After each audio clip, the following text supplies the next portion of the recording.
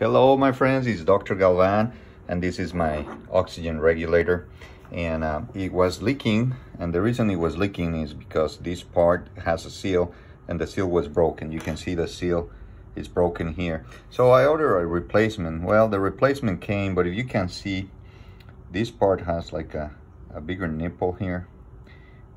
And so it was leaking.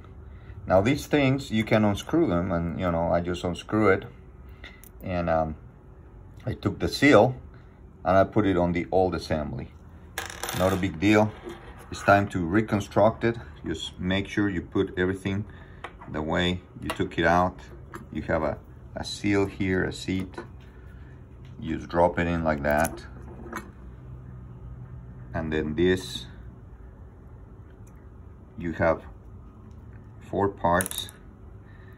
You know, you have a, a spring and then you have this part and it only goes in one direction. This goes towards the spring and you put this white washer broken washer you put it down downwards. Okay so here we go. We're gonna put it back in there. Just drop it like that. You grab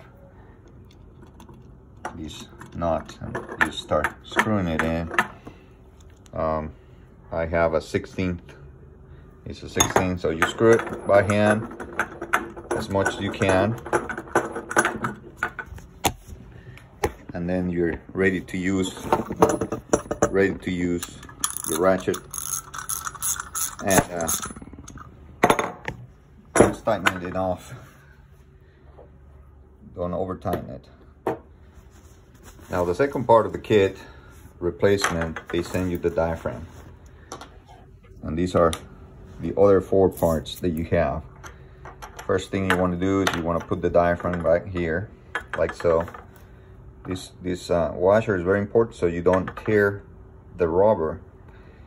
Then you put your spring and then you have these washer or um, uh, I don't know the name of stuff but the way you need to put it is this nipple goes towards the spring. There you go. And now you tighten it. And once you tighten it, you connect it. You can unscrew this nut. And with an Allen wrench, here is you're gonna fine tune the pressure on your regulator. Okay, that's all. Thank you so much. Oxygen regulator Victor.